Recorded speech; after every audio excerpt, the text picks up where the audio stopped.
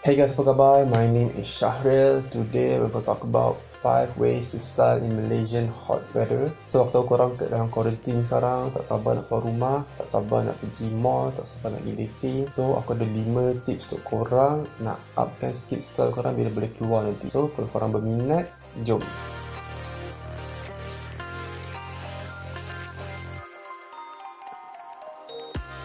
For t-shirts, aku ada 3 contoh t-shirts untuk korang. Pertama sekali aku ada stripe tee. Stripe tee ni satu benda yang sangat basic dan simple untuk korang tambah color dan pattern kepada outfit korang. Stripe tee ni datang dengan bermacam jenis pattern. Ada pattern yang tebal, ada pattern yang nipis. Selain tu, korang boleh pilih bermacam-macam color combination yang menarik untuk matchkan dengan outfit korang. Last sekali, dia ada pattern vertical. Pattern vertical ni boleh menunjukkan body korang yang memanjang.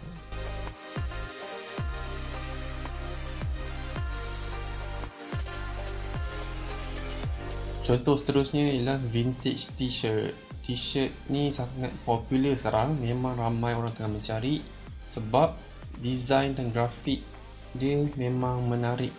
Dan kadang-kadang dia ada design dan grafik yang ada maksud ataupun sejarah dalam dia. Selain tu dia punya fading dan distressing tu memberi ke uniqueness kepada baju tu yang baju normal tak ada.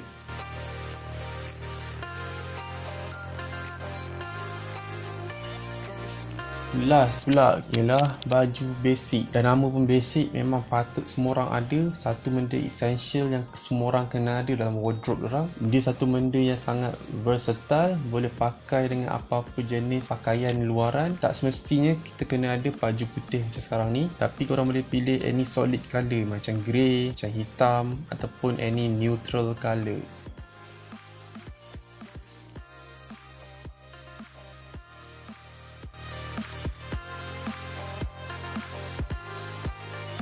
tips seterusnya ialah beraccessorize walaupun Malaysia ni panas korang pakai basic tee kalau pakai accessories accessories ni akan nampak lagi bergaya.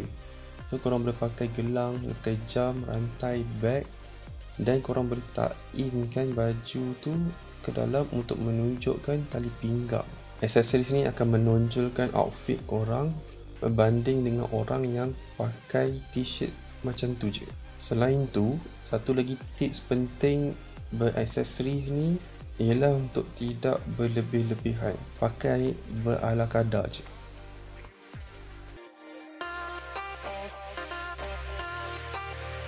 Aku nak tunjuk kat korang beza pakai aksesoris dengan tak pakai aksesoris. Kita boleh nampak bezanya outfit yang pakai aksesoris dengan outfit yang tak pakai aksesoris kita boleh nampak outfit yang pakai aksesoris ni lagi interesting lagi menonjol daripada yang tak pakai aksesoris jadi kalau korang berminat cubalah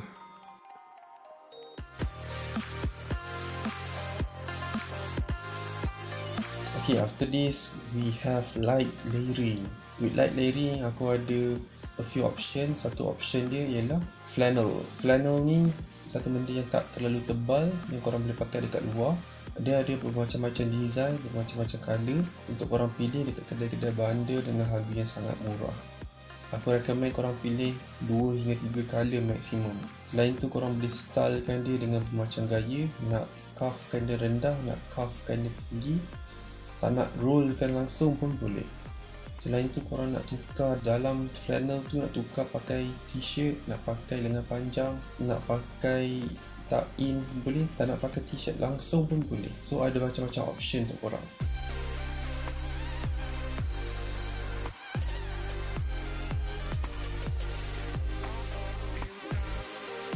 Selepas ni aku ada satu lagi contoh light layering yang mungkin tak ramai akan setuju which is denim jacket. So yes, denim jacket ni mungkin ramai akan kata agak panas untuk pakai dekat Malaysia tapi aku rasa tak terlalu tak terlalu panas kalau kita pakai pergi mall ataupun tengok wayang.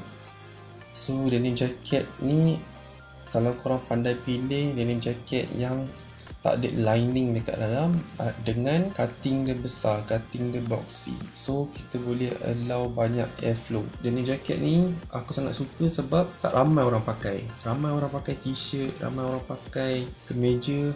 Tapi kalau korang pakai denim jacket nampak unik nampak bergaya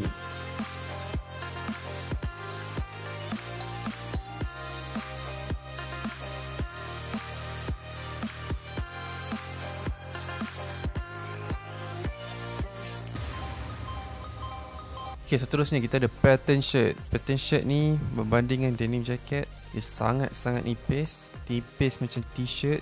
Dia ada macam-macam design, macam-macam color. Ada yang Hawaiian shirt macam tengah pakai sekarang. Ada yang bunga-bunga. Ada yang design macam pantai-pantai sikit. Lepas tu korang boleh style dengan cuffingkan lengan untuk menunjukkan bicep korang ataupun korang nak buka lagi dada tu nak tunjukkan dada sadar korang tu. So, ada banyak option, banyak color and ni pun satu lagi option yang korang boleh cari dekat kedai bundle.